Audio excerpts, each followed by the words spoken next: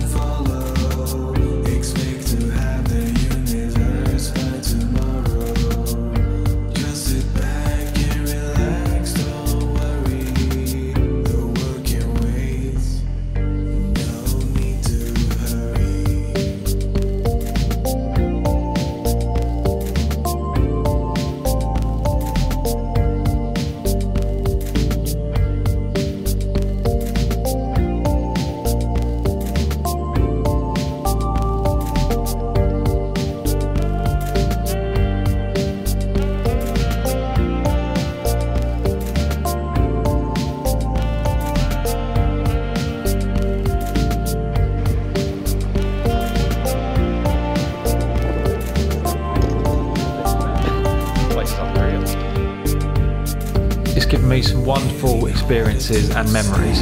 Mesdames et messieurs, welcome to the Ryder Cup 2018.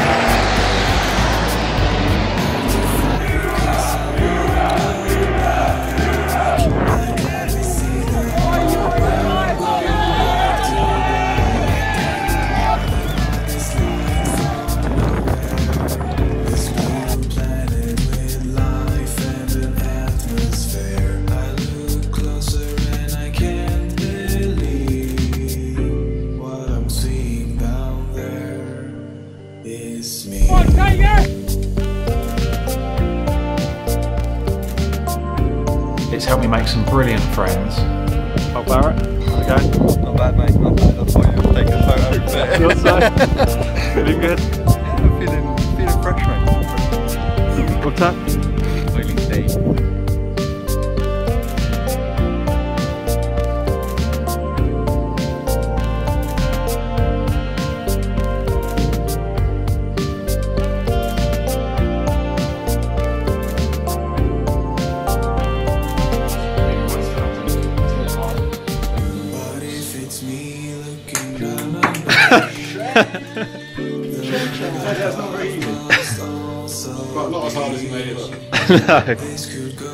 and it's brought me into contact with some fantastic people. Right, so most of you probably recognise this guy, Liam Robinson, the Challenge Tour player. Alright, so let me introduce myself. I'm St John McNabb and I'm Rob's coach. Okay, so I'm uh, Danny Burston, uh, Golf Lessons Nottingham, and today we're going to uh, do some coaching and, and hopefully get you back to your natural swing. You know, is this on plane, is that on plane? It doesn't really matter because I know where the cupboard is. So I just let it go, you see. Come yeah. Say hello, Sam. Hello. How's it getting jealous.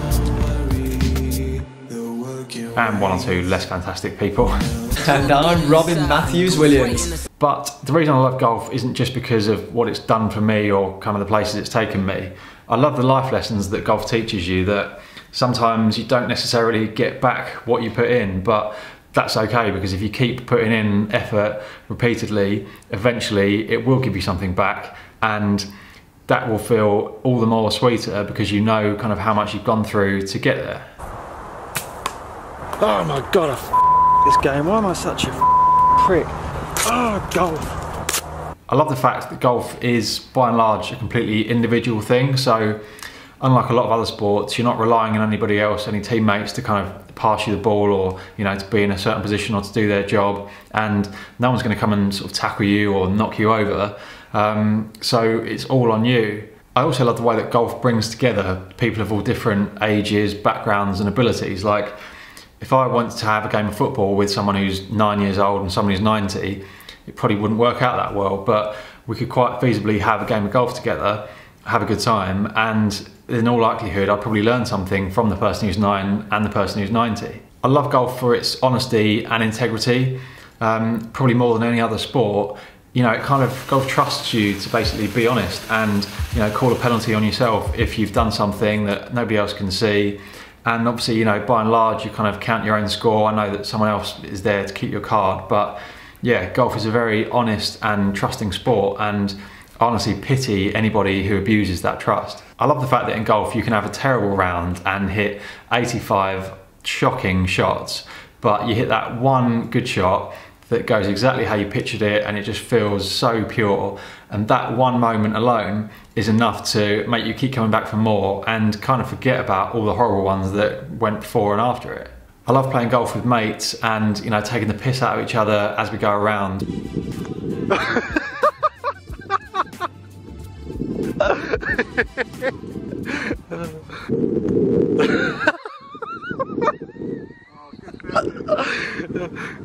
Long boundary.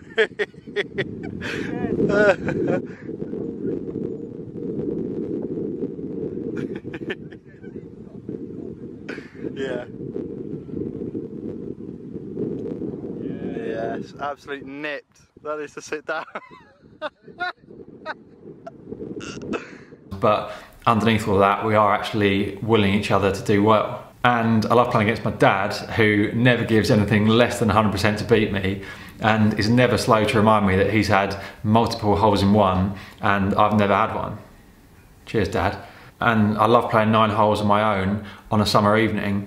Um, just getting away from like screens and mobile phones and all the kind of things that are part of modern day life just feels lovely. Um, you know, it's I don't want to get all spiritual about it, but I've had some moments kind of out on those summer evenings on my own where it just feels like, okay, yeah, this is where I'm meant to be. And as much as it's frustrating sometimes, I kind of love how hard golf is. So you're swinging a club at 100 miles an hour to hit a golf ball that big into a hole that big that's like over 400 yards away, and you've got to try and get it in there in four shots. Like when you think about that, it sounds ridiculously difficult, and sometimes it feels ridiculously difficult, but there are those moments where it just seems like the most easy and natural thing in the world. Everything just clicks, you don't have to think about it. And yeah, those moments, because you know how hard it is, it makes them all the more enjoyable and you appreciate them all the more that suddenly, for whatever reason, you just feel like you know exactly what you're doing.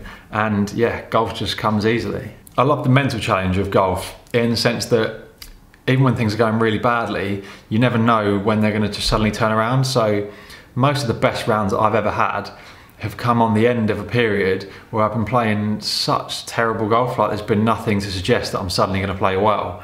Um, and so again, I guess that's kind of a metaphor for life. They say, don't they? It's um, it's always darkest before the dawn, and you know that's a bit cheesy. It probably sounds a bit like a Boyzone lyric or something, but there is an element of truth that like you just got to kind of stick with it because you never know when suddenly things are going to turn around and go in your favour. And I love the fact that every golfer is on their own individual journey. So whether you're trying to get to scratch or trying to win the Masters or just to break 100 for the first time, like yeah obviously we play competitions and you might win or lose those compared to other people or you might play matches and win or lose some of those but ultimately the main person you're competing against is you and kind of you from yesterday.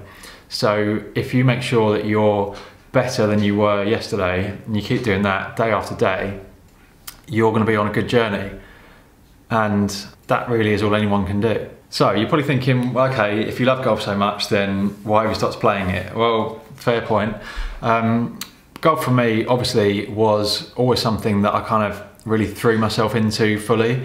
Like, I've never really been interested in just playing like once every six weeks, never practicing and just accepting that obviously I'm not going to be that great, um, but it's fine because I'm not putting any effort. Like, the appeal of golf for me was always like seeing how good I can be, saying, okay, here's where I'm at the moment. I want to get to this level. So what's it going to take to get from there to there?